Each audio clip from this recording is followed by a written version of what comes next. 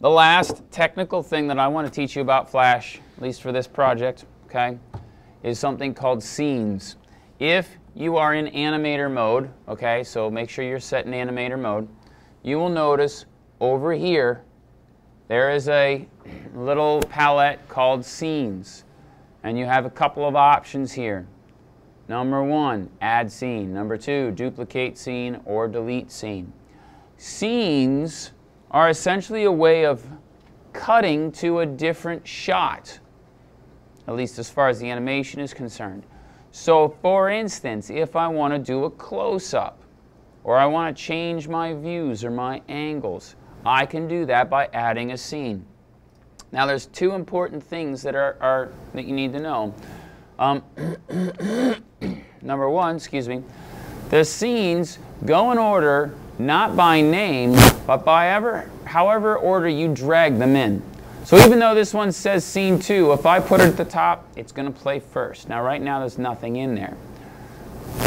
Okay, the second thing is that any symbol that you use, if it's a copy or the same symbol as whatever's in scene one, if you make changes to that symbol, you will make changes to the symbol in scene one as well. So you have to be very, very, very, very careful. Let me illustrate this point. So, let's back up here. I'm not quite sure why my library and stuff all dropped down here, but I like to work like this. Okay, so I've got my, my runner um, here, okay? And that's the same symbol that's being used in scene one. So what I can do is I can drop him in to scene two, make him a little bigger because we're going to do a close-up, right? And let's say, let's let this, um, let's let this run about 80 or 90 frames. I can put a motion tween on him. And what, I, what could be really fun is if I'm really doing a close-up, I could uh, I could just have him bouncing up and down maybe. So up, down, up, down. And I'm going to actually do this a couple of times so that it's a little bit more uh, varied. And then I can take these um, and this option drag. Oh, look at that.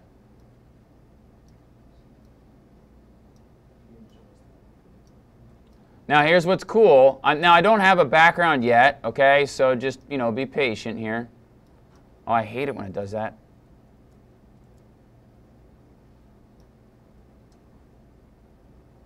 Ah, forget it. We'll just stop there. Remove frames. Okay. So now watch, I'm going to go test. I'm going to go to my uh, test movie um, test. So then it's going to go to scene one, and then it's going to cut to scene two. I think that's a, that looks a little, it's not synchronized with his running. So let's just, that's easy. We'll just stretch it out here, right? Let's see how that looks.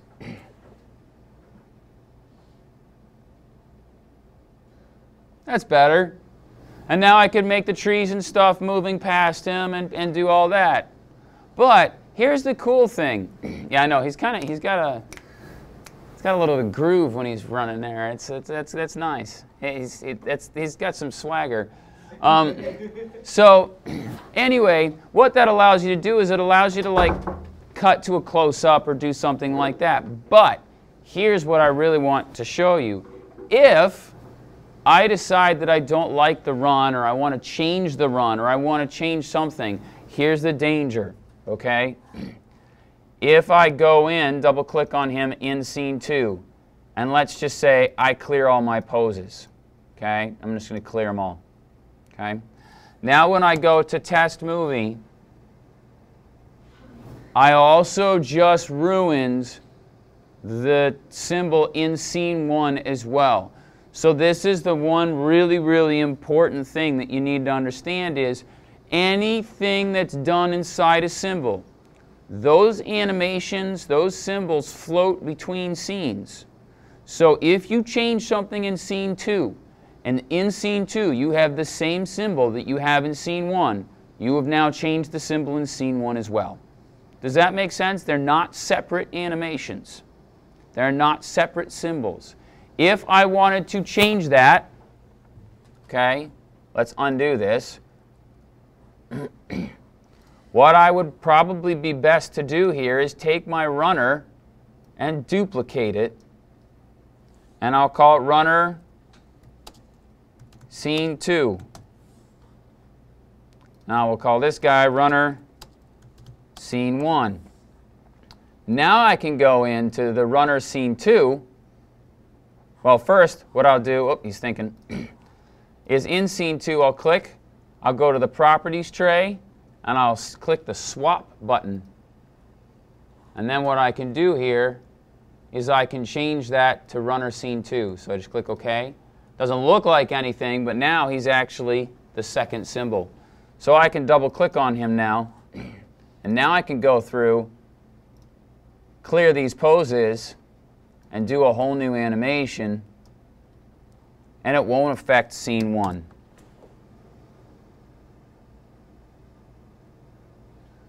But you see, the bouncing animation that I did on the motion tween, that's still there, but the poses, the running animation that was inside the symbol is now gone just because I created a duplicate symbol. However, one last word of warning.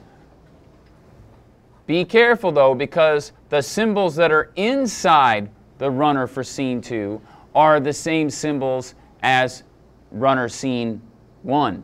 So even though I've changed the animation here in the inverse kinematics, if I were to then double click again and get into the symbol, let's just do something ridiculous here. So I'm just going to take a brush, a little bit of blue. Okay.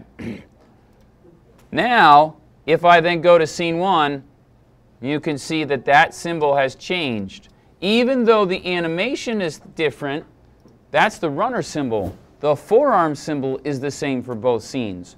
So if I wanted to change an article of clothing or I wanted to change something that was in those symbols, I'd have to make duplicates and swap them out so that everything is different in scene two. It can get a little complicated, so I caution you, okay? But if you're finished, but you can see your animation going a little bit further, I will give bonus points for somebody who uses a second scene to cut into the action, to make a punchline to a joke, or to, you know, to, to do a funny little thing at the end of your animation with a second or third scene. However, you must be careful because if you make changes to a symbol, I can't say this enough times, if you make changes to a symbol in scene 2, it will alter scene 1. Now, just to illustrate my point as well, I'm going to flip-flop scene 2 and scene 1 here. So scene 2 is on top. Let's test our movie, and you'll notice now that the order changes. So you must be very careful to realize that it has no effect whatsoever. The, the names of the, of the scenes have no effect whatsoever on the order that they play. But it is kind of cool. Basically, what you're doing is you're cutting to a new camera, in quotes, okay? Or a new shot, in quotes, just like in a movie where they cut and then they move to a camera that's a close up or a different angle or whatever. Let me ask you one last question. So let's say we wanted to move to a front view of this guy as he's running towards us. Could I duplicate the same symbol? No. I'd have to start all over again to build him, basically from the front, okay? So there's a lot of work that might be, you know, introduced into that if you wanted to change angles dramatically. However, what I could do is flip him and have him going the other way. I don't know why.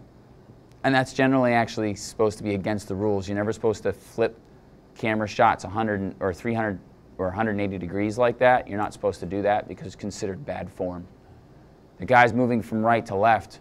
If the, all of a sudden you see him moving left to right, the inference there is that he has turned around and is now going back the other direction.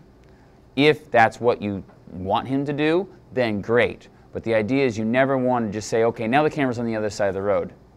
and he's going from left to right, but he's actually running in the same direction. That's confusing because you have him going the different direction on the screen. And so people are kind of like, whoa, what, what direction is he going in? I don't understand anymore. You see? There's a continuity issue there that's really big in film and animation. But it's kind of a cool technique. Add scenes, you can make new shots, you can use the same symbols. Any questions? Okay, that's it.